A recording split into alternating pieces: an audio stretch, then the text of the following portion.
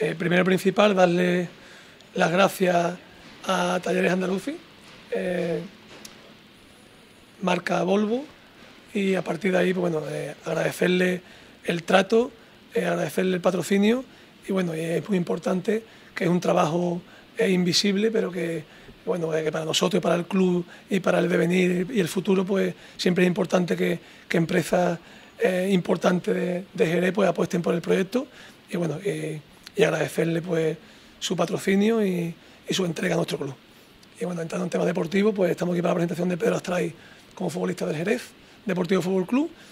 Y bueno, comentar eh, deportivamente, pues seguramente pueda ser el primer jugador que, este año quise, que, quise firmar. Estuvimos hablando largo y tendido. Él tenía bastantes eh, opciones para poder ir. Estamos hablando de un jugador de, de un perfil muy alto, obviamente y evidentemente después lo tiene que demostrar el campo, pero sí es cierto de que él salió de la cantera Atlético de Madrid, estuvo en el Atlético de Madrid hasta, hasta su filial, posteriormente le ofició el Getafe, debutó en primera división y bueno, y en la corta edad que tiene, pero ha estado siempre jugando en equipos importantes en dos años en el extranjero y, los siguientes años pues aquí en Jerez, en Jerez, perdón, en, España, en segunda división B. Eh, jugador medio centro ofensivo, con llegada, donde eh, predomina el juego asociativo y evidentemente un jugador de máximo nivel a balón parado. Te falta frontales, falta laterales, córner, todo eso lo domina a la perfección, que es una de las cosas también dentro de todos los requisitos, de todo lo que del seguimiento cuando, cuando hacemos y algo de un jugador, pues creo que es bastante importante tener un especialista en esa, en esa, con esa capacidad. Y bueno, eh, desearle la mejor de la suerte. Aquí te, trataremos como en tu casa, te daremos el máximo de cariño, te hablaremos en todo y esperaremos que te la mejor versión, una versión que creo que va a encantar y que va a encargar a esta afición porque tienes calidad, talento, clase y obviamente lo digo con conocimiento de causa y tiene una pequeña anomalía de hace un mes y medio donde él personalmente, y yo lo sabía, se operó de un hombro eh, por edición propia pero bueno, ya está en la recta final, ya está entrenando con los compañeros y bueno, eh, simplemente pues quería un poco matizar este tema porque del minuto cero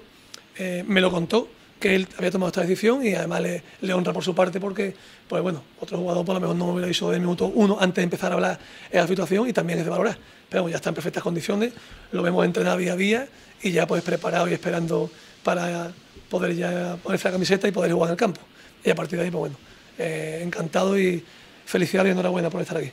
Desde el primer momento que me llamó Edu eh, me informé y yo ya sabía que hace no mucho tiempo el Jerez ha sido muy grande y lo sigue siendo y desde el primer momento quise venir, a pesar de que tenía otras opciones, pero como digo, a mí me interesa más eh, jugar en un proyecto y ser parte de un proyecto tan importante como este, de una ciudad tan importante y, de, y eso deportivamente tener opciones de crecer junto con el equipo antes que jugar en otra categoría más por el mero hecho de ser una categoría más. Entonces, eso ha sido mi principal, eh, mi principal eh, razón por la que estoy aquí y, por todo el cariño y el interés desde el primer minuto que el club ha tenido por mí. Y desde, por supuesto, desde que estoy aquí solo tengo buenas palabras para, para todo el mundo, vestuario, eh, la afición, el club espectacular de momento y estoy seguro que va a ser así durante toda la temporada. el hecho de que te hayas tenido que operar, empezar más tarde, no al mismo nivel que el resto de compañeros, ¿te gasta un poco a la hora de, empezar la, temporada o crees que, hay tiempo suficiente para ponerte al mismo nivel? Yo creo que no, porque al final el hombro es una lesión que desde el primer minuto estás eh, trabajando desde la semana 2 y yo vine la semana 4 aquí y ya estoy entrenando con el equipo, estoy en la recta final y estoy físicamente al mismo nivel que el resto de los compañeros y, y en nada, en una semana voy a empezar a, hacer ya casi todo, por no decir todos los ejercicios con ellos y yo creo que voy a llegar al principio de liga con, con todo, ¿Has hablado con el míster? ¿El míster te ha dicho para cuándo igual te puede meter dar unos mil ya? ¿En qué partido más o menos lo tenéis pensado?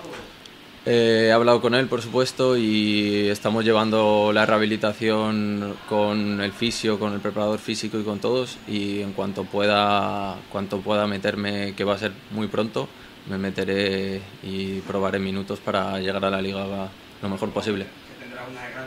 enorme. No te puedes hacer una idea. Bueno, pues conoces ya a los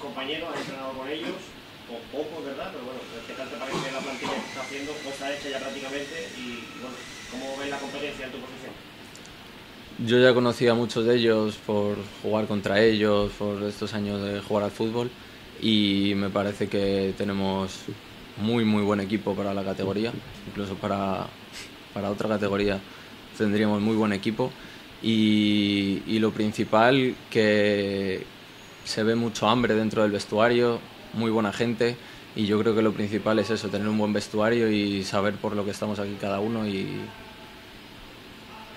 ¿Cómo ha sido tu recibimiento aquí en, en el club por parte del Mitchell? ¿Qué te parece Andrés García Tebas? Bueno, llevas poco tiempo aquí, pero, pero bueno, bueno, supongo que no conocía lo que viene siendo el deportivo.